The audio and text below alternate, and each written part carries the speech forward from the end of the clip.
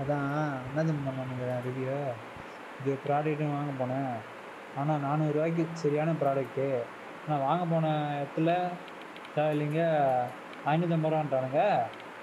அங்கேருந்து அந்த ஆன்லைன் சைட்டில் போய் காமிச்சா அங்கேயே போய் வாங்கிடான்றானுங்க ஆனால் எனக்கு அர்ஜென்ட்டாக தேவைப்படுது என்ன பண்ணுறது நானூறுரூவா ஹெட்செட்டுக்கு நூற்றம்பது ரூபா எக்ஸ்ட்ரா கொடுத்து ஐநூற்றம்பது ரூபா கொடுத்துட்டு வெளியே வந்தேன். நூற்றம்பது ரூபா காணாம மூச்சு நினச்சிட்டு ஐநூற்றம்பது ரூபா கொடுத்துட்டு வந்தேன்.